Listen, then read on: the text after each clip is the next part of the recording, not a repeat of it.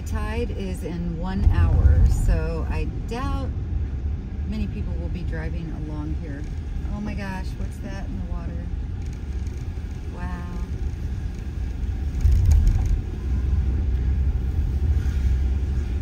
Yeah, it's gonna rock and roll over into the road at high tide. It's coming.